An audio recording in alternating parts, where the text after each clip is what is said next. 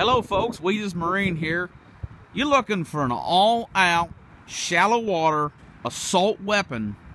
Folks, look no further. This is an 1860 CCT 18 and a half foot tunnel hull, 90 horsepower Yamaha. This is legal for tournaments. You guys want to run a jet boat, but you can't run it. FLW rules, etc. Prohibit it. This boat right here is perfect because it's still prop driven. You've got the tunnel hull, folks.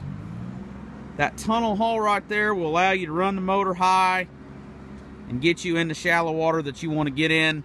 It's got buoyancy flotation pods back here to help the boat shoot get on plane quicker and also it'll float shallower at rest. Got a lot of room in this boat, big back deck. We've got a full bench seat, live well, center console, good front deck on it.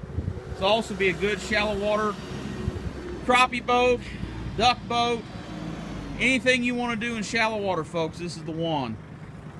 Check us out, Wiedas Marine, 859-647 boat.